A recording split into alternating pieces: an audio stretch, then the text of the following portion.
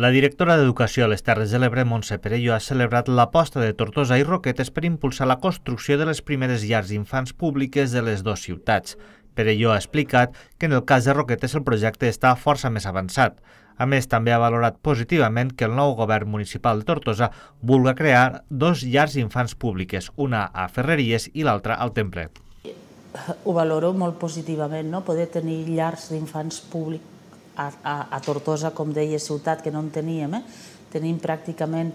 Eh, bueno, Roquetes també està en aquesta situació, Roquetes ja, ja està molt més avançat, ja té l'atorgament fins i tot de la subvenció, perquè ara és un bon moment, perquè hi ha unes subvencions importants uh -huh. que tramita el departament, però que són de la Unió Europea, de creació de places públiques. Amposta també opta per la tercera, pública, Roquetes, que era una, és una ciutat gran, tindrà llar d'infants i per tant ens quedava Tortosa. Jo penso que, eh, que és una bona aposta, eh, en farà dos, evidentment és la població més gran i per tant, mm, bé, ara comencen, evidentment, s'ha fet la petició i ara el departament ha de mirar, ha d'avaluar la part tècnica no, de, dels avantprojectes i, i ells han de fer la feina, evidentment. D'altra banda, Perelló s'ha referit a la polèmica pel tancament de la llar d'infants de Creu Roja Tortosa, que ha seguit pels mitjans.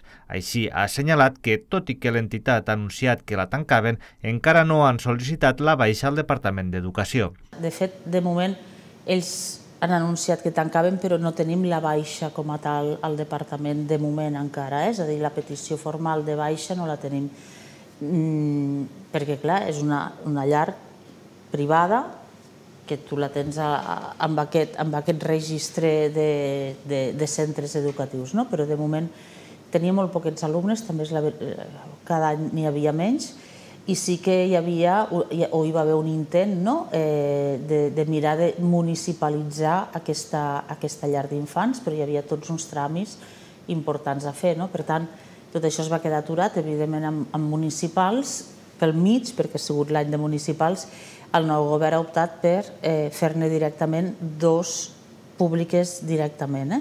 Bueno, això ja són les apostes no? de, de, dels equips de govern. Perelló ha celebrat l'èxit de la nova zonificació escolar a Tortosa. També s'ha referit a la proposta de construir una escola nova al barri de Remolins. Segons la directora d'Educació, abans d'impulsar el projecte caldrà trobar uns terrenys adequats però aquí necessitem fer una escola nova amb uns terrenys aptes al barri de Remolins.